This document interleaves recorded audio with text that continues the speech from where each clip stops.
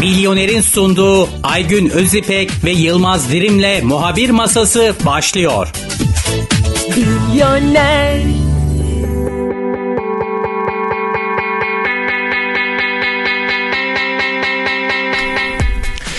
Herkese mutlu akşamlar muhabir masasından ben Yılmaz Dirim ve başlıyoruz. Ee, bugünkü programımızda yayın akışımızda Fenerbahçe İstanbul Spor maçı ve Fatih Karagümrük e, Galatasaray Fatih Karagümrük maçlarının ağırlıklı bir e, telefon bağlantıları yapacağız. Bugün programımıza kimler konuk olacak? Deniz Ateş Bitnel eski FIFA hakemi ve şu andaki e, spor yorumcusu.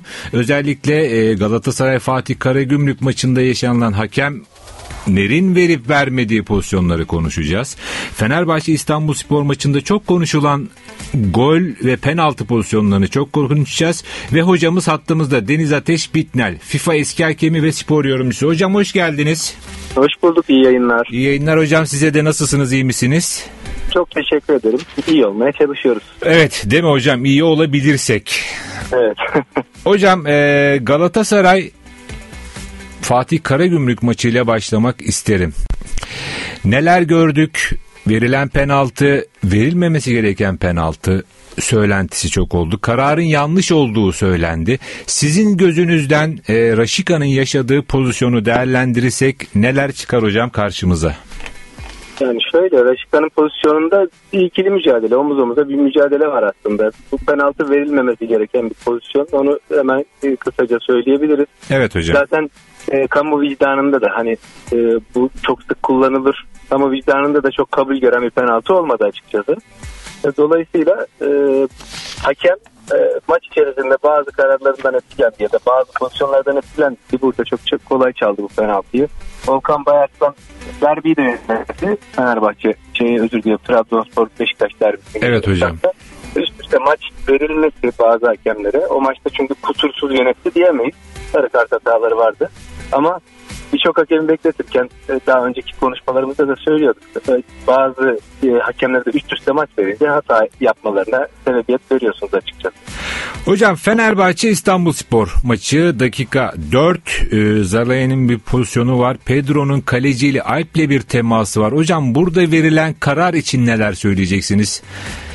Yani şimdi bu pozisyon çok e, değişik bir pozisyon. Nasıl Yani okumamız bunu- lazım hocam? Bu pozisyonu Yani şimdi ben pozisyonu ilk izlediğimde ben okudum açıkçası. O yüzden Evet, hemen tabii ki tweet hocam. attım. Evet. Hemen tweet attım. Yani bu pozisyonda Boğa Pedro'nun faul gerektiren, bir müdahalesi yok. Dolayısıyla e, golün geçerli olması lazımdı. Gerekirdi yazdım. Ve tweet'e attım. Şimdi nasıl e, faul gerektiren bir müdahale olur? Boğa Pedro ayağını kaldırır. Boğa Pedro durmaya çalışmaz. Kalecinin üzerine doğru gitmeye devam eder. Ki gitmeye devam etmesi bile e, kalecinin de kendine geldiği için bir aksiyon var. iki taraflı bir aksiyon. E, her iki tarafın çarpışması demek. Boğa Pedro'nun ayakla bir müdahalesi yok. Dizle bir müdahalesi yok. Yok çekmesi yok.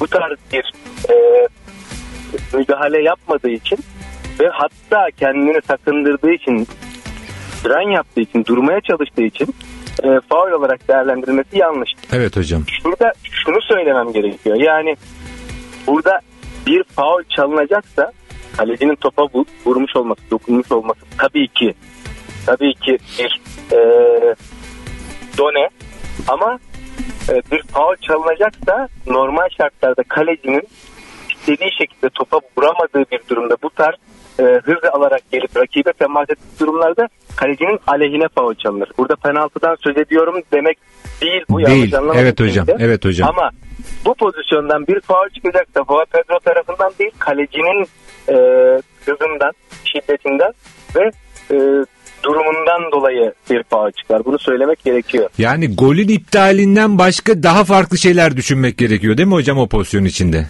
Yani aslında basit bir çarpışma devam ettirilmesi gereken bir pozisyon. Hiç böyle hani diğer senaryoları söylememize gerek yok. İzlediğimiz pozisyon üzerinden yorum yaptığımız zaman golün iptal edilmesi kesinlikle Hocam yanlış. son dakika... Burada var, Evet var hocam. müdahale edemez onu söyleyeyim. Çünkü e, hakemin temaslı müdahalelerde temas vardı dediği anda varı devreye giremez. Onu söylemek gerekiyor. Hocam şu anda önümde de ekran açık. Spor programlarını e, izliyorum bir taraftan da. Fenerbahçe'den hakem açıklaması. Hakkı yenilen milyonlarca taraftarın hesabını kim verecek açıklaması yapılmış son dakika hocam canlı canlı. Biz bu konuşmaları yaparken Fenerbahçe kulübü tarafından da yapılan açıklama. Yani bu tarz açıklamalar sık sık oluyor. Diğer kulüpler tarafından da yapıldı. Galatasaray tarafından, Beşiktaş tarafından, Fenerbahçe tarafından da sık sık yapıldı. Yani Türk futboluna bir şey katacak mı? Katmayacak tabii ki ama taraftarın e, birazcık kulübünün kulüp ve yöneticilerin taraftarı etkileme çabası olarak görüyorum. Neden etkileme çabası? E, taraftarlar kulüpten bir hamle bekliyor, başkandan, yöneticilerden bir hamle bekliyor. Bu hamlenin neticesinde açık yapılan açıklama diye düşünüyorum ben. Ee, yani bir şey çıkmaz. Sadece e, dediğim gibi yani birilerini etki altına almaz. Sadece taraftarın biraz daha e, yumuşamasını yani yönetim lehine veya kulüp lehine yumuşamasını.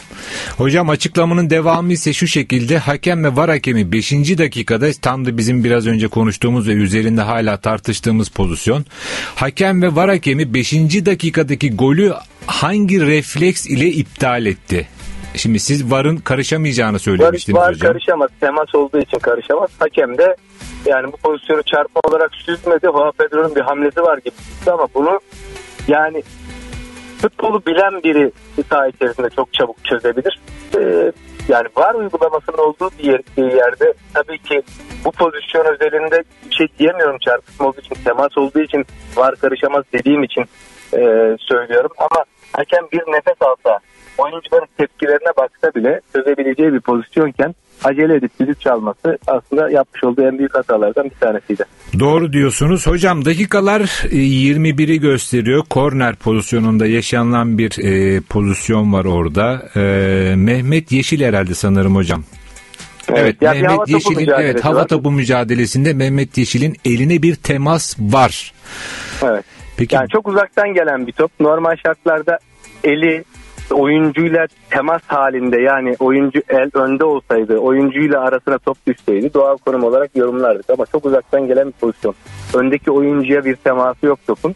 Oyuncunun eline omuz üzerindeki üzerinde bir noktaya kadar kaldırması risk alması demek. Bu riski alıyorsa da sonuçlarına katlanır. Yani bu e, verilen eğitimlerde aynen böyle anlatılıyor. Bir oyuncu risk alıyorsa, kayarak müdahalede risk alıyorsa, elini açarak risk alıyorsa o riskin sonuçlarına oyuncu katlanır. Hakem bunun e, nedenini sonucunu düşünmez kararını ona göre verir diyor. Burada da var hakeminin belki de Halil Umut Meler de yapmış olduğu en büyük hata. Burada müdahale etmeliydi asıl. Bunu da şöyle yorumlamak lazım. Halil Umut Meler Avrupa'da bizim elit kategori hakemimiz. evet hocam. Çok başarılı bir hakemimiz. Acaba evet ele çarptığını gördüm ama bence doğal bence doğal konumda demişse hakem Halil Umut Meler'in yapabileceği yine bir şey yok. Yani bu konuşmaları var kayıtları açıklansın deniyor ya bu konuşmaları bilmemiz aslında bizim burada yaptığımız yorumların da e, aydınlatılması açısından kamuoyunu daha rahat aydınlatması açısından verimli olacak ama tabii ki açıklamıyorlar açıklamayacaklar da e, aralarındaki konuşmayı bilmemiz gerekiyor. Her şeye rağmen tabii var uygulamasının olduğu bir e, ortamda bu tarz hataların yapılması kabul edilemez. Hocam siz de söylediniz e, Halil Umut Meler e, Fenerbahçe İstanbul Spor maçında e, vardaki hakemdi.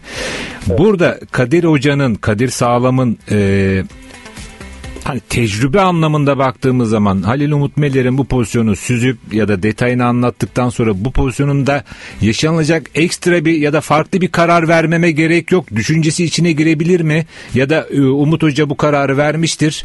Ben bu kararın e, farklı bir yönüne gitmeyeyim demiş olabilir mi hocam? Ya da e, Halil Umut Meler'in oradaki tecrübesinden hani daha tecrübeli bir hakem. Türkiye'nin en iyi hakemlerinden biri var hakemi olarak e, Fenerbahçe İstanbul Spor maçında. E, Halil Umut Hoca böyle görmüştür. Ben de bu karara devam edeyim deme ihtimali de olmuş olabilir mi hocam? Yani bir hakem sahada sahadaki patron hakemdir. Bu kere bunu söyleyeyim. Evet. Bir hakem bu tarz düşüncelere kapılıyorsa gelecekle ilgili de özgüven olarak sıkıntı yaşamaya Büyük sorun olur değil mi e, hocam? mahkum olur. Dolayısıyla var hakemi Ali Mutluver de olsa, Abdülkadir Bitigen de olsa, geçmişe döneyim Cüneyt Çakır da olsa, e, Fırat Aydınus da olsa fark etmez. Oradaki patron hakemdir. E, bununla ilgili hep böyle çelişkili kararlar çıktığı için bazı hakemler psikolojik olarak etkileniyor. Daha Değil mi? önce Değil mi hocam? e, Atilla Karaoğlan'ın mesela var hakeminin kendisini doğru uyarmasına rağmen kararın arkasında durması gibi. Evet, çelişki. evet hocam. Ya da işte Çok var güzel bir örnek. gereksiz tabii ki ya var hakeminin gereksiz müdahalesi olup hakemin e, o gereksiz müdahalesine yanlış karar verdiği gibi işte Sivas Spor Galatasaray maçından örnek verebiliriz gibi. Dolayısıyla bu tarz hatalı müdahaleler ve hatalı kararlar hakemleri psikolojik olarak etkiliyor. E, Kadir Sağlam benim beğendiğim bir hakemdi ama bu maçtaki performansıyla aslında sınıfta kaldı.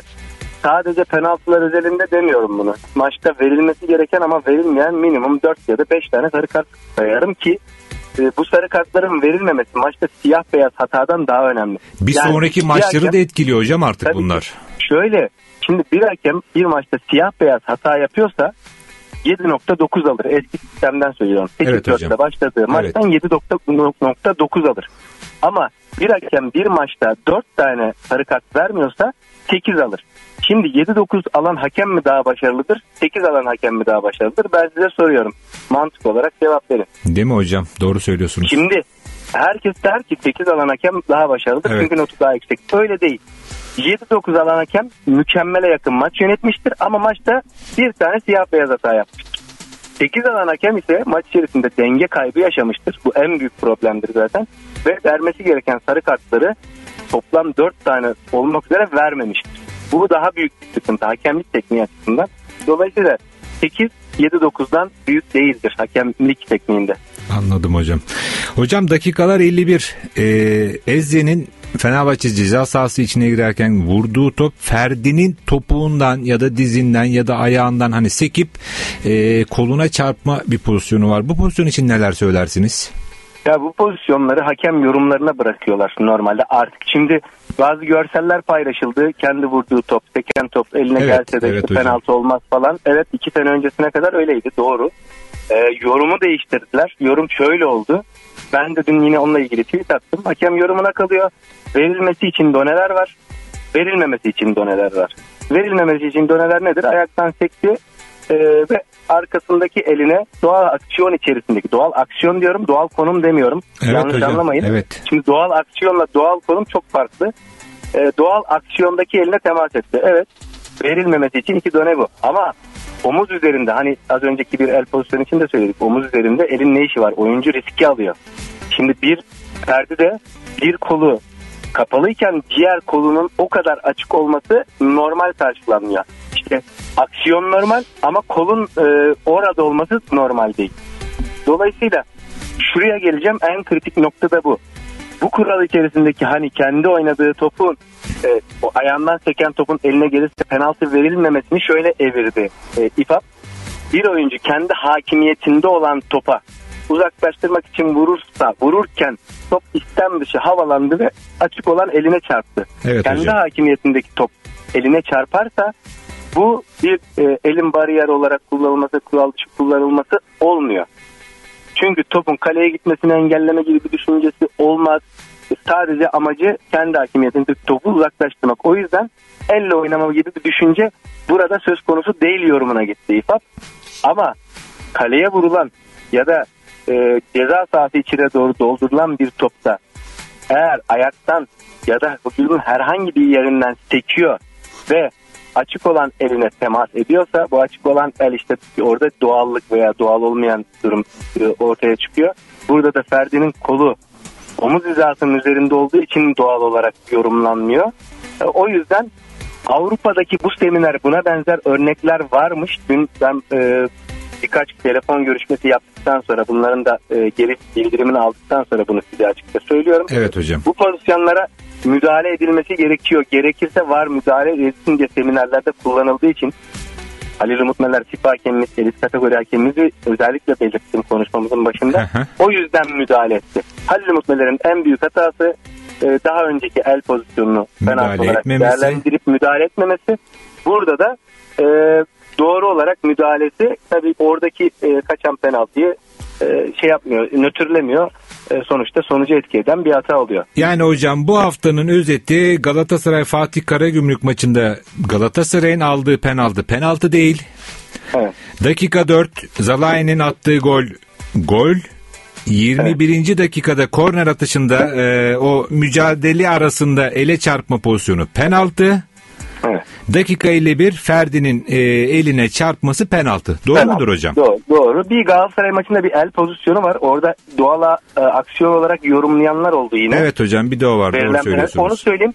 Dizini açarken doğal aksiyon ama topun elin topa doğru gidip topun geçişini engellemesi bariyer olarak kullanma diye yorumlanıyor. Yani oradaki penaltı pozisyonu penaltı verilmesi de doğru karar. Onu da söyleyelim. Evet. Ee, onun dışında yani yine hatalar tabii ki var. Ee, işte hakem e, Halil Umut Meler de olsa var da Halil Umut Meler de olsa ki bildiğim kadarıyla bu Halil Umut Meler'in var e, da e, ki ilk görevi mi? Ben mi yanlış biliyorum? Sezon başında çünkü var kadrosunu ayırmışlardı Halil Umut Meler'e Evet evet hocam doğru söylüyorsunuz. Yani şimdi Halil Umut Meler bütün derbilere veriliyor. Bu kadar yıpratıyoruz.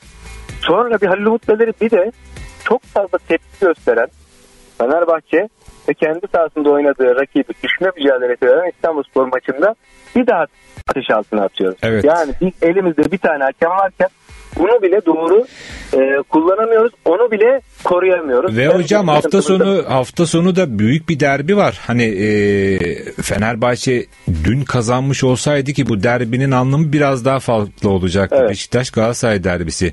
Buraya kimin atanacağını düşünüyorsunuz hocam ya da kimin atanması lazım?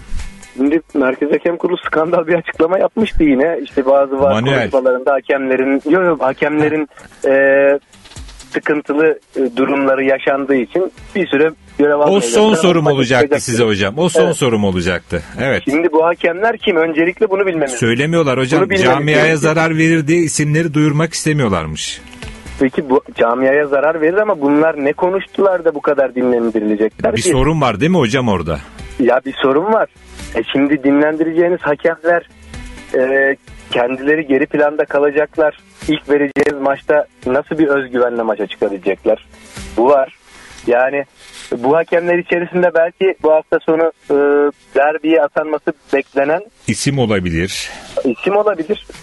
Şimdi onu da kamuoyunda okuduğum için benim e, öngörümde o isim yok o liste içerisinde ama belki de vardır onlara göre. Manuel atama yapan bir merkez hakem kurulu manuel olarak birini böyle bir cezaya da sokmuş olabilir. Tabii ki benim beklentim Halil Meler değil onu söyleyeyim. Bu maçta Ee, mı hocam Manuel atanır sizce? Ee, manuel olarak atanırsa Halil Umut Meler olur ama o, e, otomatik sistemde yarı yapay zeka ile atanırsa e, Abdülkadir Bitigen olur gibime geliyor. Evet hocam bu sorunun da cevabı zaten soracaktım. Siz de cevabını verdiniz. Hocam çok teşekkür ediyorum. Ağzınıza Ben sağlık. teşekkür ederim. Sağ Kendinize olun. çok iyi bakın hocam. Görüşmek üzere. Görüşmek Teşekkürler sağ olun. Evet e, sayın e, eski hakemimiz FIFA hakemimiz e, Deniz Ateş Bitner'le hem Galatasaray Fatih Karagümrük hem de Fenerbahçe İstanbulspor maçında yaşanılan hakem hatalarını konuştuk. Milyoner'in sunduğu Aygün Özipek ve Yılmaz Dirim'le Muhabir Masası devam ediyor. Milyoner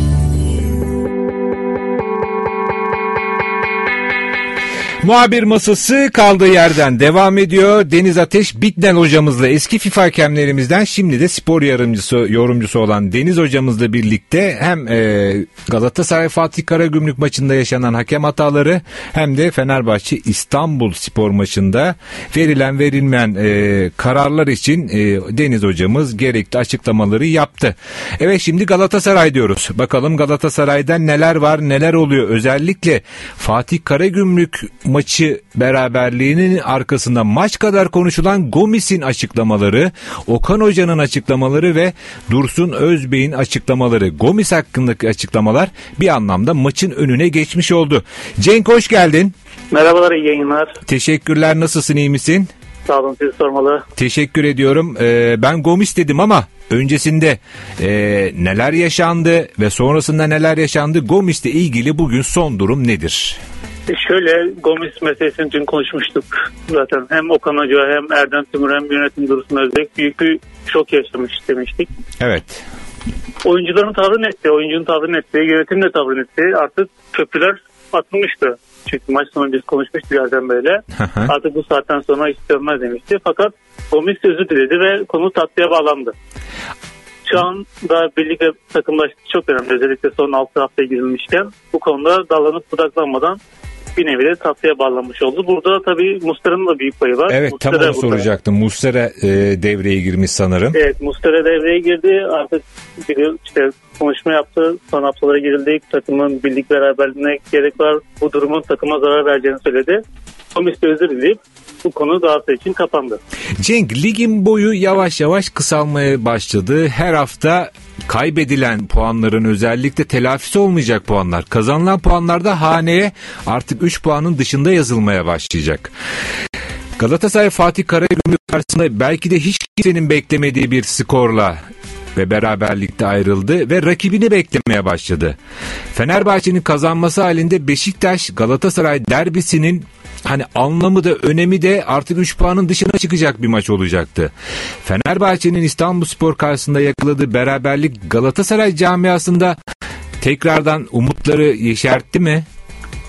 Tabii şimdi Galatasaray taraftarlar artık Karagümrük maçının ardından strese girmişti. Evet. Ve bir tedirginlik hakimdi. Ama Fenerbahçe'nin dünkü beraberliği Galatasaray'ı tekrar artık şampiyonluk havasına soktu diyebiliriz. Yani Jesus her ne kadar 6 puan fark var bir şey değişmese değişmedi dese de değişen çok şey var aslında. Çünkü ligin sonlarına geliyoruz. Makas daraldı. Yani Galatasaray, Beşiktaş ve Fenerbahçe kaybetse bile diğer maçı 4 maçı kazanırsa yine şampiyon oluyor. Yani değişmedi değil, değişen çok şey var. Yani Karagümrük maçında alınan bir puan çok değerli diyorduk. O Saşa Boy'un attığı gol çok değerli diyorduk. Bunun önemi de ortaya çıkmış oldu. Cenk baktığımız zaman e, Galatasaray'ın kalan maçları Beşiktaş Galatasaray, Galatasaray Başakşehir, İstanbulspor Galatasaray, Galatasaray Sivasspor, Ankara Gücü Galatasaray ve Galatasaray Fenerbahçe ve ligin son maçı. Şimdi Beşiktaş derbisine nasıl hazırlanıyor? İlk olarak bunu sorayım.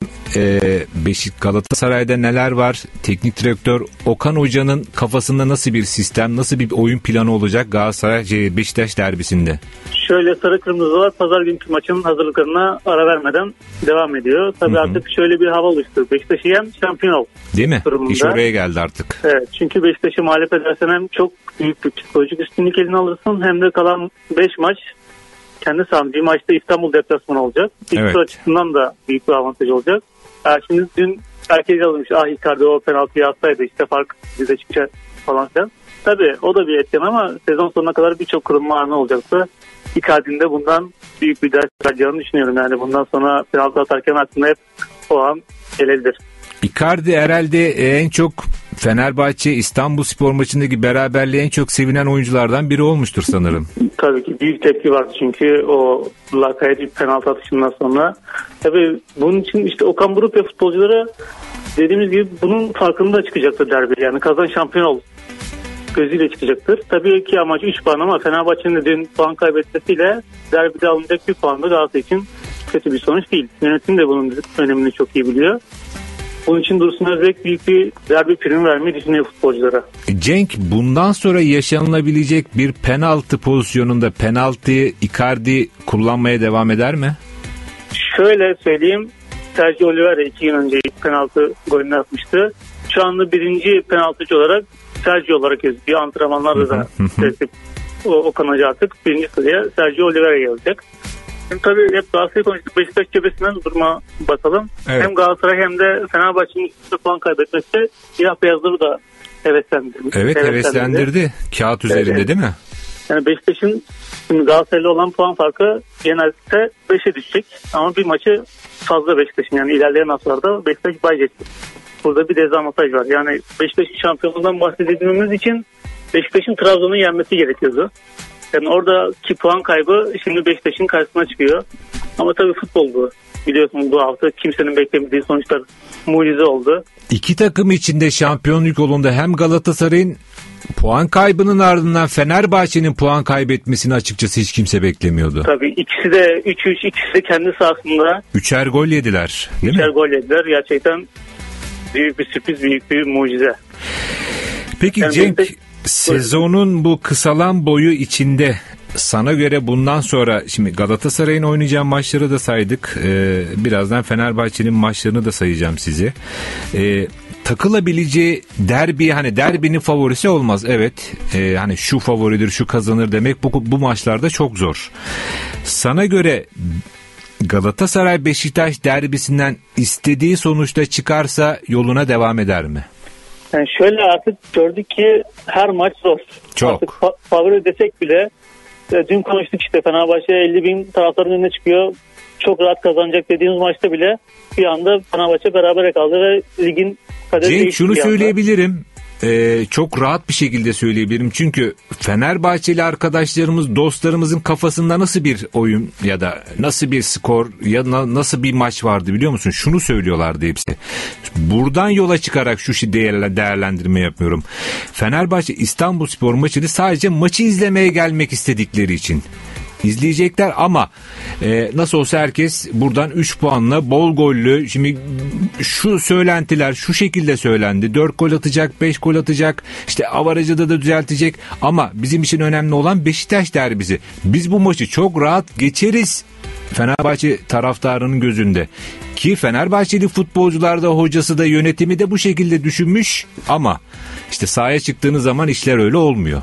Evet, dakika 51'de 2-0 olmuş durum. Evet. Yani biz maç yazısını yazdık. Fenerbahçe sevinç fotoğrafı indirdik yazdık. Bir anda işler tersine döndü. İşte küçümsemeyeceksin rakibi. Galatasaray da aynı şekilde.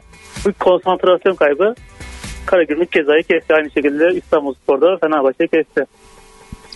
Evet değil mi? Fe, gazetecilerin arasında bu vardır.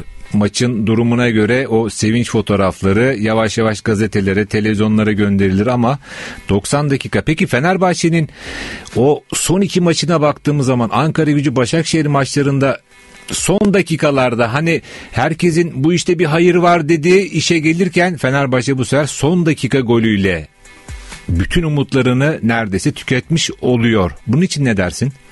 Aynen öyle. Yani benim Fenerbahçeli arkadaşlarım da var. Yani Ankara gücü Başakşehir maçında özellikle Başakşehir maçında artık Başakşehir'i yenilelim. Artık bu ızdıraba çekmek hep son dakikalarda atıyoruz. Son dakikalarda işte 3 puan alıyoruz. Artık kalp dayan veriyorlar. Ne olacaksa olsun artık bitsin. İlk Galatasaray'ın şampiyonluk tutuyorum diyorlar. Ama baktığımızda gerçekten Fenerbahçe o kadar son haftalar garip bir şekilde maçlar oynanıyor ki hiç Fenerbahçe olmak istemezdim. Fenerbahçe taraftarını kendine yerime koymak istemezdim.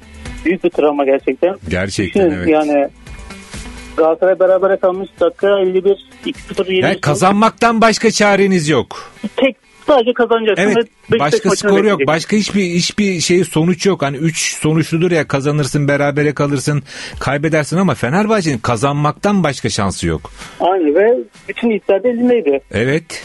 Anda durum değişti. Beşiktaş maçında da öyle. Yani durum 1-0 penaltı kazanmışsın. Rakip 10 kişi kalmış. Kim derdi ki Beşiktaş 4 tane gol atacak? Fenerbahçe bu sezon özellikle evinde çok büyük farklar yedi. 4 tane Beşiktaş'tan yedi. 3 tane Galatasaray'dan yedi. Dün İstanbul'dan 3 yedim. Yani Giresun maçında kimsenin beklemediği 2-1 Bir mağlubiyet yaşadım. mağlubiyetlik. Yani Fenerbahçe taraftarı için bu sezon kötü geçirdiğinde Jesus'un bir taraftara serze- serzenişi oldu. Yani Jesus yani taraftarın ne belki takımı ortaya topladı. Tamam alkışladı ama artık Fenerbahçe taraftarında şöyle bir şey var. Uzun zamandır gelmeyen bir şampiyonluk ve eline aldığın maçı bir puanla çıkartırsan tabii ki taraftar sana tepki verecektir. Bu son derece normal. Evet, evet. Cenk çok teşekkür ediyorum. Ben Ağzınıza sağlık. Ee, görüşmek üzere tekrar. İyi akşamlar. İyi akşamlar, iyi yayınlar. Milyoner'in sunduğu Aygün Özipek ve Yılmaz Dirim'le Muhabir Masası devam ediyor. Milyoner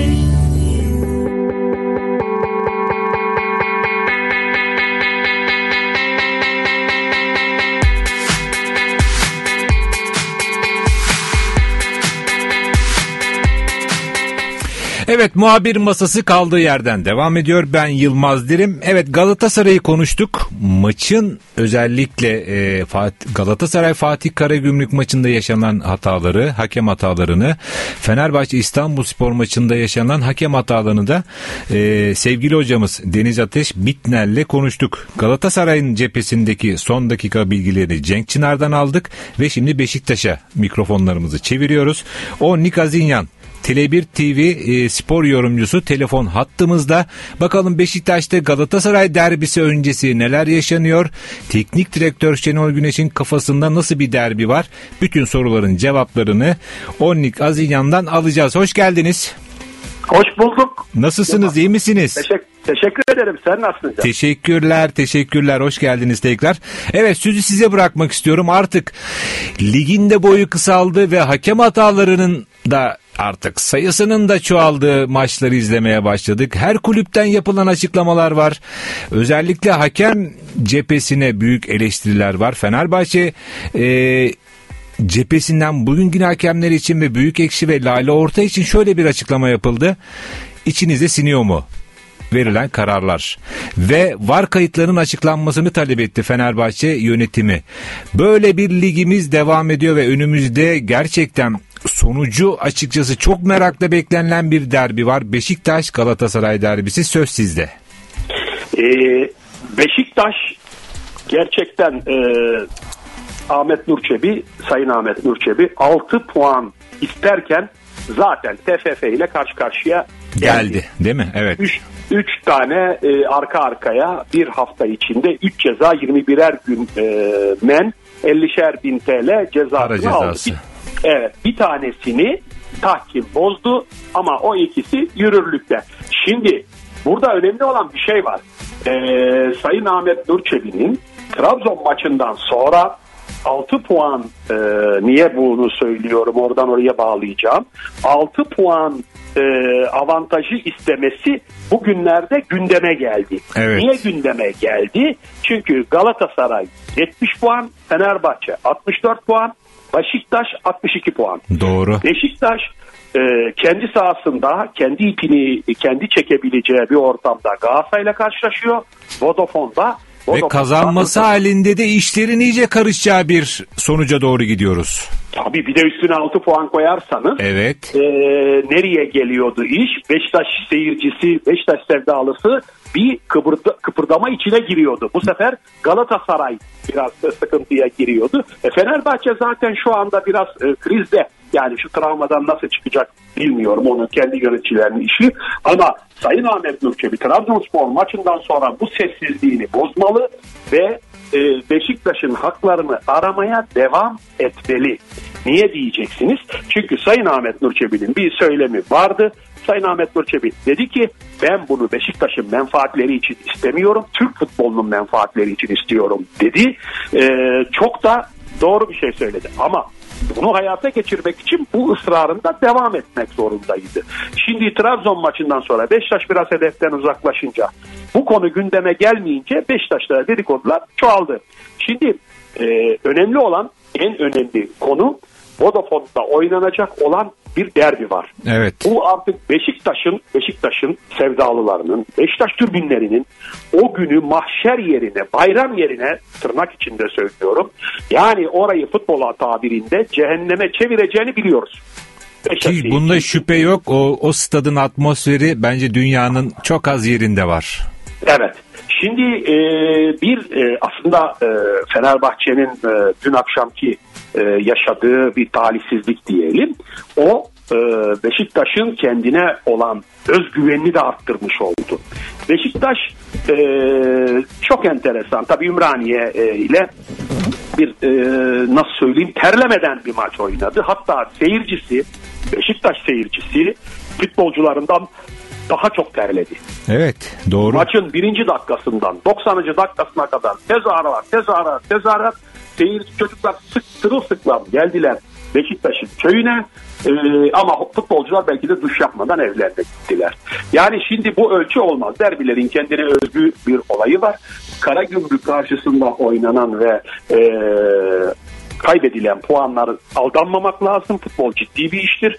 Bugün futbolu e, öyle bir pozisyona getirirsiniz ki e, geçen hafta çok kötü oynayan bir takım bu hafta gelir sizi e, Vodafone'da yener ve gider ki o gücü de var. Ki derbilerin favorisinin hani hep gördüğümüz, izlediğimiz, bildiğimiz kadarıyla derbilerinde favorisinin öncesinden belirlenmesi çok zordur. Aynen, aynen. Ee, çok da doğru e, bu söylediğiniz. Evet. Şimdi e, Beşiktaş Gezal'sız şu ara. E, Gezal zaten e, e yaklaşık bir yıldır yok. E, evet iki haftalık ondan... bir sıkıntısı daha var sanırım. 2-3 hafta sürer evet. diyorlar. 2-3 hafta sonra lig bitiyor zaten. Ne kalıyor? Zaten bir şey kalmıyor. Zaten yani. o zamana kadar da e, ligin yani, ne e, olacağı belli olmuş evet. olacak. Ama ama bir gerçek var. E, Beşiktaş'ta e, Redmond e, direksiyona geçti. Yani Redmond e, Fena aldı Beşik- direksiyonu ya eline. Beşiktaş'ın evet Beşiktaş'ın e, Abu Bakar'la beraber e, amiral gemisine çıktı oturdu kaptan köşkünde oturuyor Redmond. E, Redmond transferde biraz Beşiktaş'ı zorlayacak. E, bazı Galatasaraylı arkadaşlarım var yakın arkadaşlarım. Onlar zaten Galatasaray'da niyetleniyor yavaş yavaş Redmond'a diye. Çünkü menajer oyunda olabilir ama e, Redmond Beşiktaş'ın cebinden biraz masraf ettirecek bu formuyla. E, çünkü tam bir istim üstünde. Bu arada e, tabii ki e, gidenler olacak, gelenler olacak ama benim ısrarla takımda kalmasını istediğim bir oyuncu Saiz. E, Roman Saiz yani milli dünya kupası e, karması yapsak altın karmaya girmese bile gümüş karmaya girer. E, Masuaku işi kolay bitti. E, ona e, kontrat verildi. Orada Umut Meraş'la vedalaşmak lazım. Çünkü e, tutmadı orada şey. Evet. Ee, yani ben e, Kara Gümrük'ten Borini'nin e, Maksim'in yerine tercih ederim. Yani Borini'nin de abi şöyle söyleyeyim e, Trabzonspor'la bir e, hani teması var. Trabzonsporlu yöneticiler e, Borini'yi resmen istemişler. E, istemek başka bir şey, almak, Almak başka bir şey. Tabii canım, o da doğru. Bir, bir meyve yukarıda durur, transferde bilirsin. Son dakikaya kadar sen forma giydirirsin, öbür tarafta kontrat imzalanır. Bunun gibi çok şeyler var. Örnekleri de çok var zaten. Ee, şimdi şu anda e, sanmıyorum Trabzonspor'un e, tabii ki bir şeyler yapacaklar ama Trabzonspor takımının içini boşaltması lazım. O kadar şu anda çok bayağı bir maaş yükü var. Çok zor. Trabzon işi de çok zor. Yani e, tabii çok zor. E, çünkü bu seneyi de ıskaladılar. Geçen sene bayağı başarılılardı ama bu sene e, sıfır çekince. Gelecek sene içinde yeni kurulduk. Yeni hocamız. e, tabii yeni hoca, yeni yapılanma. Sonra Evet. e, bilmiyoruz tabii hocayı da tanımıyoruz. Şimdi e, derbi derbide şöyle bir olay var. E, Beşiktaş'ın orta sahası Ha- Hacı Ahmet Tobiş, Fernandez ve Salih e, Ümraniye maçında ilk yarı o kendi yarı sahasından diğer yarı sahaya geçmedi. Bu e, nasıl değerlendirilirse değerlendirilir. İstatistikler konuşuyor. Gerçi futbol istatistik değildir. Beşiktaş'ın e, çok iyi bir kalecisi var. E, atanıyla tutanı Beşiktaş'ın çok iyi. E, Galatasaray bunları hesap ediyordur muhakkak. E, Cenk Tosun Paşa e, Formda, for- çok formda. force ediyor, force ediyor. Çok yardım ediyor. Evet. Yani Redmond, Abubakar, Cenk üçlüsü e, Galatasaray'ın savunmasına e, ki Galatasaray'ın savunmasında da Çasaboya falan geçen hafta 75 kere topla buluşmuş. Çok Arkadaşlar, enteresan abi ya. Çok gerçekten Yani çok enteresan. bir Bir sağ sağ bekin- beksiniz siz ya yani değil mi yani? Yani takdire şayan bir e, e, performans. E, onların da en büyük zaafı tabii sol tarafında. E, bunu da biliyorlar çünkü e, aynı şeyleri Karagümrük yaptı ve başarı elde etti. Valla e, kıran kırana bir derbi olacak. E, İyi maç olacak. puanı- iyi maç olacak. Şu 6 puanı Beşiktaş'a verirlerse her şey çok daha güzel olacak. E, yani benim temennim. Ama federasyon kanadından da bu konu için artık bir daha herhalde açılmaması üzerine e, Allah net ne derlerse desinler pişirir pişirir ortaya koyarız yani bu da şimdi e, şey değil E, düşünebiliyor musun 2011'deki kupamız nerede diye Trabzonspor hala soruyor yani eskimez yani. Fenerbahçe Müzesi'nde abi. Yani evet, Görmek evet. isteyenler oraya gidip bakabilir. İşte onu söylüyorum yani. Ama ne yapıyor adam? Pişiriyor pişiriyor getiriyor. Evet, ortasına evet, sahneye evet, koyuyor. evet. Yani dolayısıyla şimdi e, bir eğer Fenerbahçe kazanmış olsaydı dün büyük ıskaladı. Kazanmış olsaydı Galatasaray daha karışabilir. Çok, Galatasaray, çok. Galatasaray bu işleri çok iyi yapar. Hemen organize oldu. Hemen e, Gomis skandalını kapattı. Orayı çabuk sıvadı. Hemen her şeyini bitirdi. Ki orada. Gomis, Gomis olayı e, o beraberliğin üzerine daha çok konuşuldu. Yani beraberliği değil Gomis'i insanlar konuşmaya Tabii başladı. biz, biz yayındaydık. Bizim arkadaşımız e, Galatasaray yorumcusu arkadaşımız Gomis'in karşı mesajının tweet'i, tweetini e, bize e, okuduğunda ben dedim eyvah bu Eyvah, bu değil mi? biter. Evet, evet. Karakolda biter gibiydi. Siz niye benim o soyunma odasında konuştuğumu gündeme getirdiniz dedi falan. Yani bütün kilit oradaki kilit Fenerbahçe'ydi. Ama Fenerbahçe e, büyük bir e, ıska geçerek e, kalesinde topu gördü. İnşallah toparlanır onlar da. Çünkü bunlar e, armada takımlar. Bunlar olmasa lig olmaz. Ama e, Şenol Güneş hocamın e, Okan Buruk hocama e, herhalde bir iki şapkasında tavşanları vardır. Çünkü e, unutmayalım Fenerbahçe maçında e, hoca enteresan bir şey yaptı. Çift santrfor bıraktı. Orta sahadan iki adam aldı. Hatta ben oturduğum yerde aa hocaya bak neler yapıyor dedim. Çaklı hocaymışım gibi. Ya Allah Allah adam bu kadar senelerdir sahanın içinde sahanın dışında her yerinde bir e, eğitmen aynı zamanda bir e, bu futbolun ustadı. Ben kalktım ya dedim orada santraforlardan birini çıkarmadı orta sayı boşalttı falan. Yani birdenbire e, yani 2-0 olacak maç 4-2'ye döndü. Evet. Yani şimdi e, hocanın yine böyle ufak tefek sürprizleri vardır. Ama Beşiktaş'ta öyle şu anda kadrosunda böyle radikal değişiklikler yapılacak bir pozisyon yok. E, sağ bekte büyük ihtimalle Rozi oynar. E, Masuak oynayacak. E, Saiz iyi o pozisyonda. Zaten orada oyuna çok iyi başlatıyor birinci bölgede.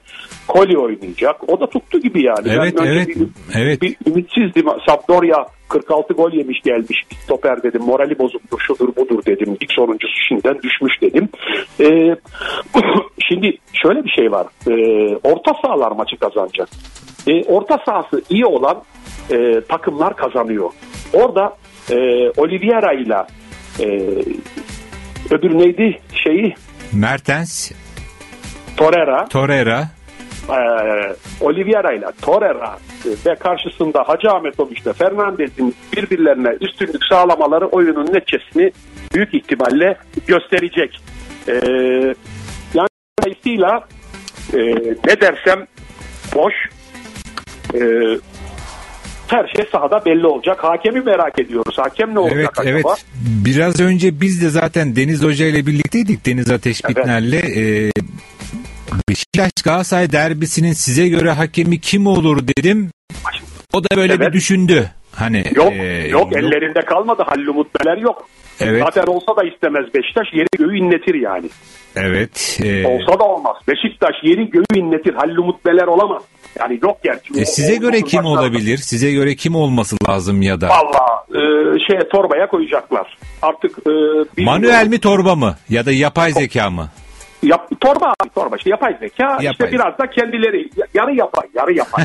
hani olsaydı yeri yarı yapayı var ya yarı yapay olacak doğru gibi. doğru. Yani e, Ama bak hakemin bu arada- e, bu maçın çok, çok özür diliyorum da bu maçın Yok. hakeminin işi çok zor olacak. Gerçekten Şimdi- kim olursa olsun çok zor olacak. futbolcular da kolaylaştırmıyorlar işleri. Tabii Ya ki, arkadaşlar, tabii ki, tabii ki. 46 saniyede bir itiraz var ya. İstatistikler Evet. söylüyor Türkiye'de. 46 saniyede bir el havada. Ya El topun havada. oyunda kalma sürelerine baktığımızda biz dünya futbolunda çok sonlardayız.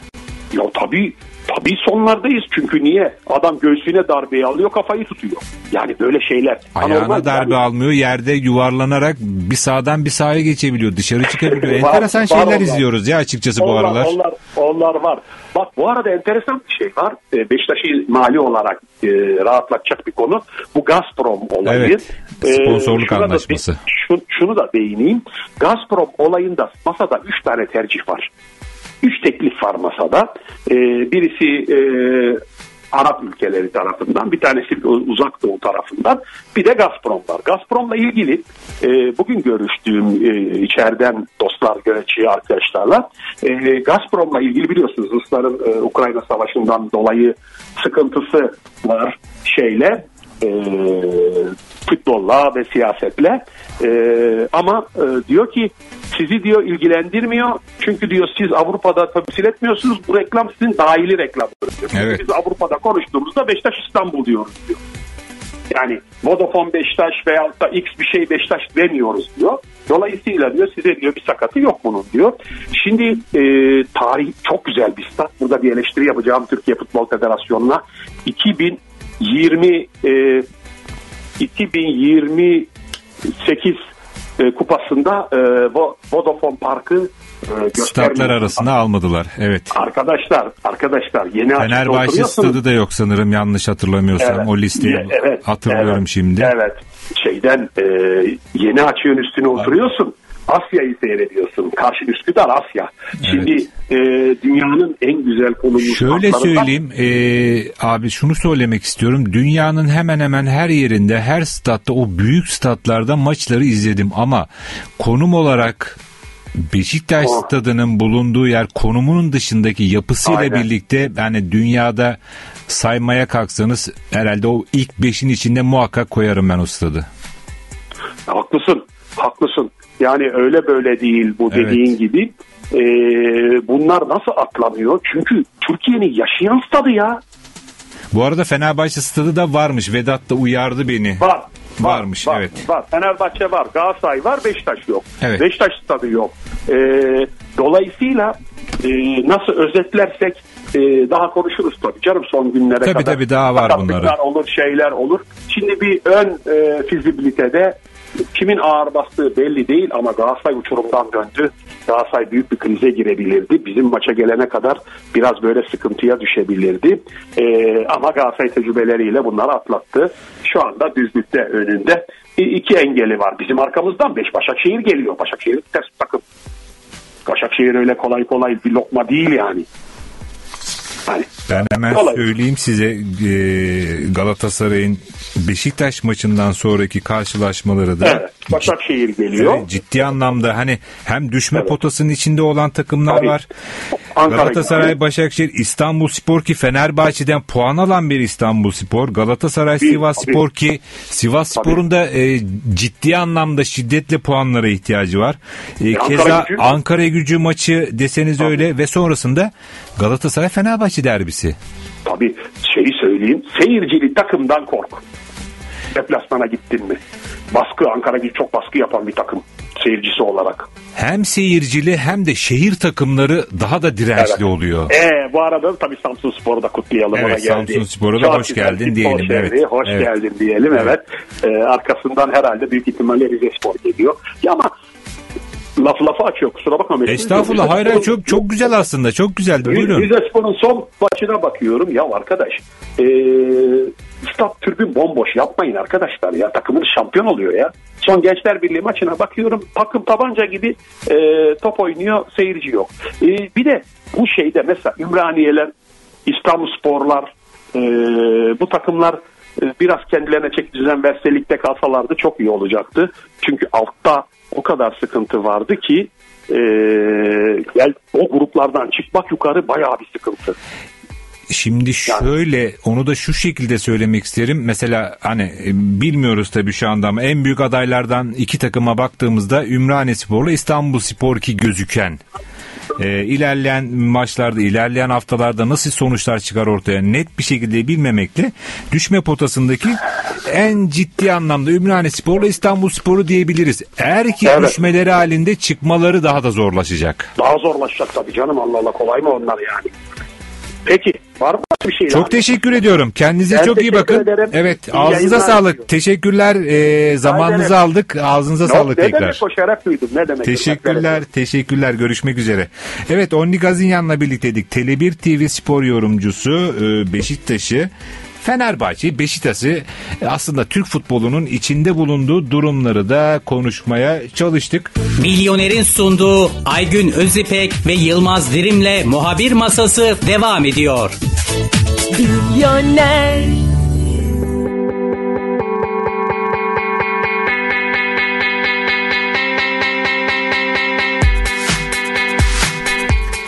Evet muhabir masası kaldığı yerden devam ediyor. Ben Yılmaz Dirim. Ee, reklam arasında şöyle bir haberleri incelerken gözüme enteresan bir haber çarptı. Bunu da sizinle paylaşmak isterim. Bu haber nereden geldi? İngiltere'den. Tottenhamlı futbolcular taraftarların bilet ücretlerini geri ödeyecek. Neden? Newcastle United deplasmanından 6 birlik mağlubiyetle dönen Tottenhamlı futbolcular bir açıklama yapıyor kulüp e, resmi hesabından.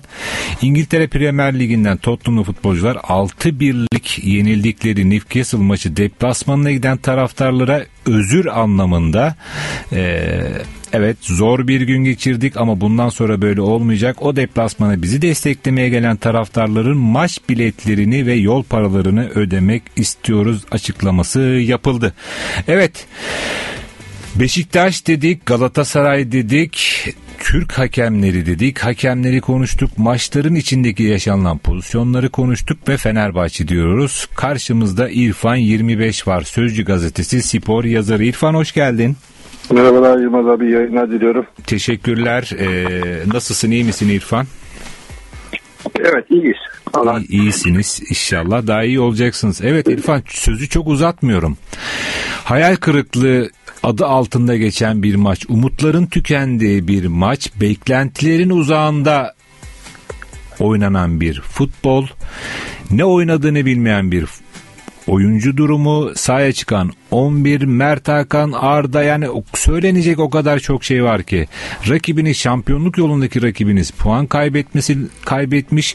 Üstüne üstlük kazandığınız takdirde işlerin iplerin size döneceği bir karşılaşma. Ve gelilen sonuç 3-3'lük bir beraberlik. Evet söylenecek bir şey yok Yılmaz abi. Şimdi aslında şöyle söyleyeyim. Yani Fenerbahçe'nin bu sezon birçok fırsat eline geldi. Ee, evet. Ee, ama bu fırsat maçlarının hiçbir tanesini galip tamamlayamadı. Yani o geri dönüşleri geri dönüşleri sağlayamadı. Evet final niteliği taşıyan maçlar oldu. Mesela ligin ilk yarısında Giresunspor maçı vardı. Giresunspor evinde 2-1 yenildi ki bu maçı yenmiş olsa en yakın rakibi de puan farkını Dünya Kupası'na giderken değil mi orada? Evet evet evet. Puan farkını 8'e çıkaracak. Evet. Ee, daha sonra şampiyonluk e, yarışında yolundaki en büyük rakibi Galatasaray'a evinde 3-0 çok kötü bir futbolla yenildi. Sonra Beşiktaş'ı 10 kişi kalan Beşiktaş'a karşı. Evet, Beşiktaş'ı yenip yeniden bir puan farkını kapatma ihtimali doğmuştu. Ona 10 kişi kalmasına rağmen hatta 1-0 öne, e, öne geçmesine rağmen e, rakip 10 kişi kalmasına rağmen sağdan 4 tane gol yedi e, mağlubiyetle ayrıldı. Ee, yine Karagümrük'le Galatasaray 3-3 berabere kaldı. Yine e, puan farkını azaltma fırsatı bir kez daha Fenerbahçe'nin eline geldi. Bu kez de 2-0 önde olduğu karşılaşmadan 2-2 beraberlik daha sonra yine öne geçip e, skoru karayamayarak sağdan 3-3 e, beraberlik ayrıldı ve yeniden bir fırsatı kaçırdı. Şimdi baktığımızda sen de bahsettin gerçekten Fenerbahçe beklentilerin çok uzağında bir performans ortaya koydu. Ama e, şunu da belirtelim. E, burada hakem yönetimini de yani ne kadar kötü bir performans ortaya koysa da bu, maçın hakemi de e, bence çok kötü bir yönetim gösterdi. Aslında burada e, Fenerbahçe'nin kötü futbolunun da ötesine geçen bir hakem yönetimi de vardı onu söyleyeyim. Evet İrfan ee, sana ek olarak bilgi amaçlı muhakkak dünden beri senin de düşüncelerin bu şekildedir. Deniz Hoca ile Deniz Ateş Bitner'le e, hem Galatasaray Fatih Karagümrük maçını hem de Fenerbahçe İstanbul Spor maçını konuştuk. Dakika 4'te Zalai'nin golüne gol, dakika 21'de korner atışında Mehmet Yeşil'in eline çarpan pozisyonun penaltı ve 51. dakikada e, Ferdi'nin koluna eline çarpan pozisyonda penaltı olduğunu söyledi ve Galatasaray'ın Fatih Karagümrük maçında Reşika'nın pozisyonunda da penaltı olmadığını söyledi. Yani şöyle söyleyeyim. E, şimdi bir maçta e, üç tane aleyhinize hata yapılıyor. Bariz Hatta hatalar. E, bariz hatalar ve bu direkt skora etki eden hatalar. Artı şunu da söyleyeyim. O Ferdi Kadıoğlu'nun bir pozisyonu vardı. yani maçın ilk yarısında. Yani belki kırmızı kart bile verilebilirdi. Oldukça sert bir hareket evet, vardı. Evet. Ve orada sarı kart sarı kart dahi vermedi Kadir Sağlam. Artı şunu da söyleyeyim. Şimdi cevap cevap Erdoğan'ın pozisyonda foul kararı veriyor. Tabii orada pozisyonu bence orada düdüğü sanki hemen ilk anda çaldı gibi. Yani orada topun fileye gitmesini beklemedi hakem belki de. Orada düdüğü çaldığı için belki de var hakemi. Onu tam pozisyonu bilmiyoruz ama orada çaldığı için belki var müdahale edemedi pozisyonu ama pozisyon, çaldığını söylüyor. Evet. Yani o pozisyon öncesinde çaldığını söylüyor. Yani foul çaldığını söyleniyor. O zaman da var müdahale edemiyor işte pozisyona. Evet. Yani burada da burada da hakemin e, ne kadar e, kötü bir yönetim gösterdiğini ortaya koyuyor ama ben burada şunu da belirteyim. Şimdi e, Kadir Sağlam, aynı Kadir Sağlam Fenerbahçe'nin Fatih Karagümrük maçında da avardı görev yapıyor. Fatih Karagümrük maçında Valencia'nın net penaltısı verilmedi. Arao'nun attığı net bir gol iptal edildi. Evet doğru Şimdi söylüyorsun. buna buna buna tepki göstermeyen bu Kadir Sağlam bu maçı atılırken herhangi bir tepki vermeyen yönetim bu mevcut durumdan da tablonun ortaya çıkmasında da biraz da sorumlu olur. Yani çünkü bugün yönetim e, dün, dün maç olmuş e, evet yerinde bir açıklama yaptı Fenerbahçe Kulübü hakemle ilgili odak noktası Fenerbahçe'nin futbol olduğunu ama hakemle ilgili yani hakemin kararları konusunda da bariz hakem hataları olduğunu ortaya koydu. Ama bu açıklamayı yapmak için saat 17'yi beklemek gerekmiyordu. Bu açıklamayı yapmak için İstanbul Spor maçının hemen ardından maçın bitiş düdüğüyle belki yarım saat sonra bu açıklama yapılması gerekiyor. %100 katılıyorum sana İrfan. Çünkü bazı konularda... Ama İrfan o teknik direktörü Jesus da yaptığı açıklamada şunu söylüyor. Sonuçtan hakemleri sorumlu tutmam.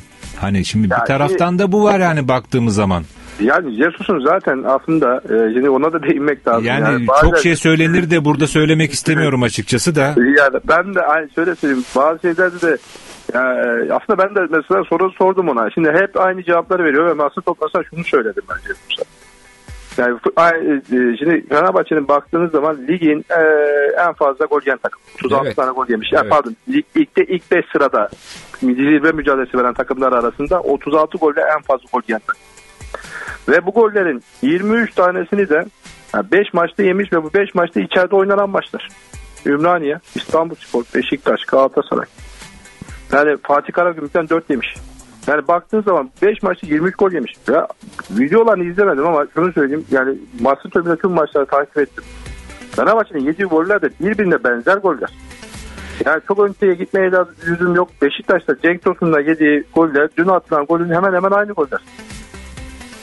Ya buna- Yani buradan da defans hattının beklerinizin defansın ortasındaki Samet'le birlikte e, Zalai'nin çaresizliği mi diyeyim ya da e, Bence onu sa- sadece futbolculara bağlamak değil. Bence Jesus'un oyuna müdahale anlamındaki yetersizliği veya oyuna müdahalede geç kalması. Çünkü basın tribünden net bir şekilde şunu gördük. 75. dakikadan itibaren Alioski oyundan düşmeye başladı ve Fatih Karagül, e, pardon, İstanbul Spor'da kanatlar genellikle Alioski'nin kanadından gelmeye başladı. Oraya Rossi oyuna sonra da oyuna dahil edildi. Rossi oyunu alırsan zaten Rossi'nin defansif anlamda e, yeteri kadar güçlü bir oyuncu değil. E, siz Rossi oyunu aldığınız zaman da zaten o bölgede e, rakip çok rahat e, gelmeye başladı. Zaten Fenerbahçe'nin yediği gollere 3 golü de bir baksın e, izleyenler, dinleyenler e, şunu çok net bir şekilde görecekler. Yani e, savunma savunmanın gel ileriye çıktığı zaman savunma arkasına atılan toplarda Fenerbahçe sıkıntı yaşıyor. Bunu defalarca dile getirdik. Ama bunu çözecek olan da Jesus'tu. Yani benzer goller yemesine rağmen rakipler artık Fenerbahçe'nin oyun şablonunu ezberlemez, ezberledi. Fenerbahçe'nin e, savunma zaaflarını ezberledi ve oyun e, analizlerini tamamen bu doğrultuda yapıyorlar. Ama Jesus da buna bir türlü önlem alamadı. Yani şimdi burada teknik direktör George Jesus'un önlem alması gerekiyordu. Yani yaptığı değişiklikler Yılmaz abi şöyle söyleyeyim yaptığı değişiklikler Fenerbahçe'yi ileri götürmesi gereken tamamen geriye götürdü. Evet yani o Yani- değişikliklerin amacı nedir? Kötü giden bir olayı ya da kötü giden maçı, kötü oynanan futbolu değiştirme adına yapılan yeni taze kan dediğimiz hani o değişiklikler olarak bakıyoruz. Şöyle söyleyeyim 75'ten sonra Fenerbahçe oyuncu değişikliği yapılmaya başladıktan sonra Fenerbahçe 75 yani 75. dakika kadar nispeten kötü oynarsa da hani oyun üstünlüğü Fenerbahçe'de pozisyon bulan Fenerbahçe ama 75 ile 90'da oyuncu değişikliklerinin ardından Fenerbahçe topun kontrolünü bile doğru düzgün sağlayamadı. Yani oyun pozisyon bulamadı o süreç içerisinde. Yani e, artı şimdi iki tane merkezi orta sahayı oyundan çıkarıp bir tane stoper oyundan çıkartıp Yani Ee, bilerek yapmak isteseniz herhalde bunları yapmamanız lazım değil mi İrfan? Ben şöyle söyleyeyim. Rakip teknik direktör hani rakip hoca nasıl bir değişiklik yapsa dese herhalde bu değişiklikleri yaptı, yapsın isterdi. Yani Onu- değil mi? O rakip hoca derdi ki keşke şunları çıkarsa da ben rahat bir futbol ya da daha akıcı bir futbola döneyim dese ki bunu isterdi. O da herhalde bunu yaptı. Şöyle söyleyeyim az önce Samet dedin abi. Yani Samet'in yani tamam, tamam Samet Akaydın. El düzeyde oynayan. Samet'in bir inadı var. İnat etti. Fenerbahçe'yi şampiyonluktan edecek İrfan. Ben öyle Şöyle görüyorum. söyleyeyim. Şöyle söyleyeyim bazı futbolcular konusunda inat ediyor. Yani bu Evet. futbolcuları sürekli oynatıyor. Ya bu, fut- bu da bazı futbolcunun performans düşüklüğü yaşadığı zaman da hem futbolcuyu kaybediyorsun hem de bu futbolcu üzerinde baskıyı dağıtıyorsun ama aynı zamanda tak, e, takım da e, maç kaybediyor. Samet'in son 5 maçta bak e, bakarsanız son 5 maç oynadı mesela kritik hatalar yapıyor oyuncu. Ya belli artık değil mi yani belli. Bir şeyler Ya bu, belli. oyuncu, bu oyuncuyu dinlendirmen gerekiyordu. Ha, bu, bu oyuncuyu dinlendirmen. Ya Serdar Aziz Giresun maçında bir hata yaptı. Bireysel hata ki o maçta da gerçekten iki bireysel hata yaptı. Ama o zamana kadar iyi performans ortaya koydu. Serdar Aziz bir anda kesti. Daha da çok fazla forma şansı vermedi. Yine gelelim Arao. Şimdi Arao'yu, Arao ısrarı var. E, teknik direktör George Jesus. Ya, dün oyunu aldı Arao'yu. Arao oyuna girdikten sonra çok var- varlık gösteremedi. Hatta e, kritik hata, kritik pas hataları yaptı. Aynı zamanda golde de offside'ı bozan isim. Evet. Yani pozisyonu izleyen iz- izlesinler. Yani Salah'ı rakip e, tabii bir savunma savunma çizgisini ayarlamaya çalışıyor. Savunmayı ayarlamaya çalışıyor ama Arao bir metre gerisinde yani Salah'ı bile dinlemiyor. O kadar kons yani maça yeni girmesine rağmen motivasyondan, konsantrasyondan uzak bir performans sergiledi. Zaten onun yüzünden ne topa kafayı uzattı e, orada da offside'ı bozan isim oldu. E peki hoca e, İrfan Jesus şunu söyledi. Kaliteli oyuncu grubundan e, kurulu, kaliteli bir oyun oynadık ki yani biz başka maç mı seyrettik onu bilmiyorum ama şimdi önünde Sivas Spor maçı var. E, belki İstanbul Spor maçından birkaç kat daha fazla zor olacak Fenerbahçe adına. Şunu söyleyebilir misin? Bugün ya da dün sahaya çıkan 11 Sivas Spor maçında teknik direktörü Jesus tarafından sahaya çıkarılacak mı? Çıkarılmayacak. E şöyle söyleyeyim yani bunu zaten aslında en önemli sıkıntılardan bir tanesi Fenerbahçe takımı bir türlü oluşturamaması. Evet. Geçen sezon e, o iğme yakaladığı zaman Fenerbahçe İsmail Kartal'ın ilk 11'ini e, hemen hemen sayıyorduk. Hangi oyuncunun ilk 11 çıkacağını işte nispeten hangi değişiklikleri Oyuncu bilmiyor İrfan oyuncu. Oyuncu bilmiyor oynayıp oynamayacağını. Şimdi onu biliyorduk. Ee, teknik direktör Joe Jesus da bir rotasyon yapıyor. Bu rotasyonu işte maç yo- e, ritmi oldu, işte maçın yoğun yoğun maç oldu. Üç günde Avrupa Kupası olduğu zaman da o süreci çok iyi yönetti. Ama ne zamanki tek maç e, durumuna geldi işte o rotasyonu e, tam iyi yönetemedi. Bazı futbolcular sürekli oynattı. Bazı futbolcular bir, ma- bir üç maç oynayıp sonra e, oynamamaya başladı. Şimdi mesela dün Alioski 75 dakikadan sonra oyundan düştü. Ama bu Alioski'yi e, teknik direktör George Jesus 14-15 maç oynatmadı. Bazı maçlar kadroya dahi almadı. Hatta devre arası ara transfer döneminde Göndermeyi düşündünüz. gönderilmesi dahi gündemdeydi. Şimdi göndermeyi düşündüğünüz oyuncuyu kurtarıcı olarak oynatıyorsunuz ki Alioski son maçta da iyi yani hücum anlamında takıma önemli katkılar sağlıyor. İrfan son sorumu da şöyle sorayım. Teknik direktör Jesus'un özellikle taraftarla hani yavaş yavaş diyaloglara girmeye başladığı Fenerbahçe taraftarı e, Jesus'un geldiği günden beri sabretti. Siyahla beyaz arasında bir Jesus. Geldiğinde beyaz olarak değerlendirirsek evet çok kariyerli çok iyi bir hoca. E, Fenerbahçe'de farklı işler yapacak oynattığı sistem gibi gibi bir şey. Evet Fenerbahçe taraftarı o ruhun tekrar yakalandığını söylüyor. Ve Dünya Kupası arası ve e, Jesus beyazken siyaha dönmeye başladı. Ama Fenerbahçe taraftarı yine sabretmeye başladı. Ama ta ki dün akşama kadar. Son sorum da bu olsun. E, neler yaşandı, neler oldu orada ve bundan sonra neler olacak? Şöyle söyleyeyim Jesus Hare'de herhalde Fenerbahçe taraftarı hiçbir teknik direktörü göstermediği sabrı Jesus'a göstermişti. Evet, evet. Yani şimdi derbilerde kendi evinde e, işte bir Beşiktaş ilgisi günün 1-0'dan öne geçip 10 kişi rakibin karşısında 4 tane gol yemek. Galatasaray'a belki de tarihinin en kötü futbolunu oynayıp e, çok Evet. Rakibinin ezici üstünlüğü İrfan son 30 saniyemiz toparlarsan sevinirim. Büyükle karşılaştığı bir ma- işte böyle oynanan belki taraftar çok fazla bile e, zaman, zaman gösterdi ama şunu söyleyeyim e, Jesus'la ipler biraz taraftar arasında ipler de kopuyor. E, olası Sivas deplasmanında alınabilecek bir olası bir olumsuz sonuç Türkiye Kupası'nın kaybedilmesi, ligin e, sonunda şampiyonluk kaybedilmesi durumunda Jesus'la e, o taraftar arasındaki bağın koptuğunu net bir şekilde görüyoruz. Bundan sonraki süreçte daha sert tepkilerle karşılaşacak.